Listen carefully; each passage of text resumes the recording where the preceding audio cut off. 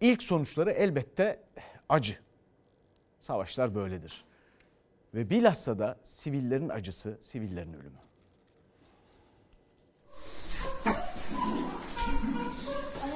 Gözlerini dünyaya savaşla açan bebekler bir bodrum katında hayata tutunmaya çalışıyor. Görüntüler Rus ordusunun ateşi altındaki Dnipro şehrinden, bir çocuk hastanesinden. Yeni doğan yoğun bakım ünitesi sığınaklara taşındı. Ukrayna'da siviller büyük korku ve panik içinde hayat mücadelesi sürüyor.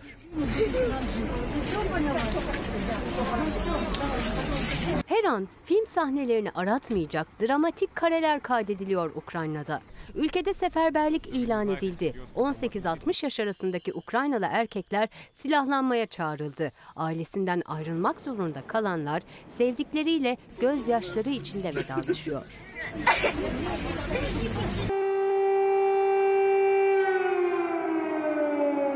Başkent Kiev'de sokağa çıkma yasağı ile birlikte sessizlik hakim. O sessizliği bozanlarsa uçak ve füzeler. Diğer şehirler gibi.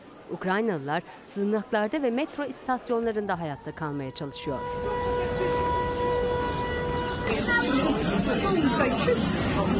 Çocuklar, evcil hayvanlar, yaşlılar, hastalar kendilerini bombardıman ve kara harekatından korumak için yerin metrelerce altında bekliyor.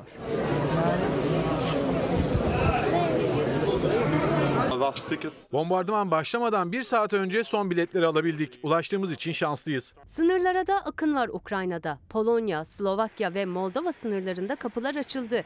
Kimi trenle ulaştı komşu ülkelere, kimi araçlarla, kimi de yürüyerek. Ukraynalılar sınırlardan gözlerinde yaşlarla geçti. Geçtik ve şimdi belki Kıbrıs'ta arkadaşlarımız var. Belki bombalar durana, durum sakinleşene kadar onların yanına gideriz.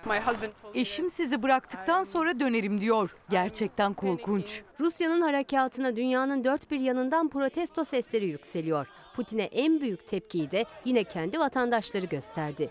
Rusya'da yüz binler sokağa döküldü. Savaş karşıtları ülkeleri aleyhine sloganlar attı. Polisin tavrı sertti. Gözaltılar vardı.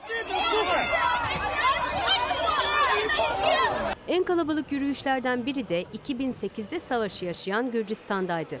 Başkent Tiflis'te sokağa çıkan binlerce kişi Ukrayna bağımsızdır sloganları attı.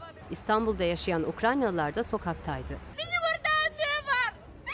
Annem var orada. Üç tane kız kardeş küçük. Biz rica ediyoruz bizim yardımım ihtiyacı var.